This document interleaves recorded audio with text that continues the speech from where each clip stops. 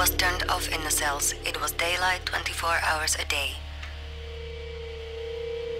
People were transferred from one cell to another, so me and my cellmates were infected with COVID 19.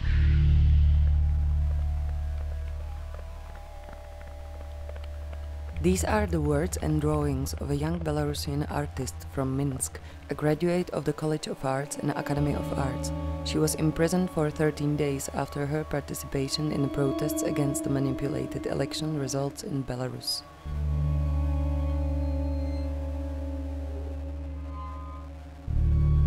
Since the beginning of the protests in August 2020, more than 35,000 protesters have been arrested.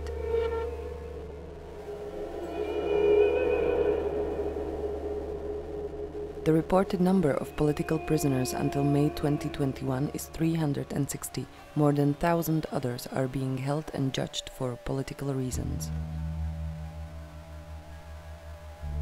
In Belarus, one can get arrested for 30 days just for wearing symbolic red and white socks.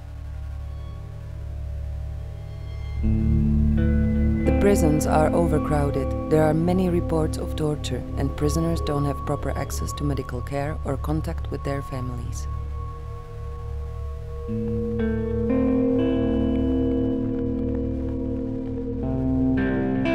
Despite the regime's brutal reaction, pro-democratic protests and strikes continue.